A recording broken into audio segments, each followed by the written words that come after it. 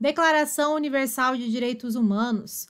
Argumentos mais importantes para a DUDH possuir caráter jurídico. A DUDH possui força jurídica, pois constitui interpretação autorizada da Carta das Nações Unidas. Carta das Nações Unidas, artigo 55, a linha A, B e C.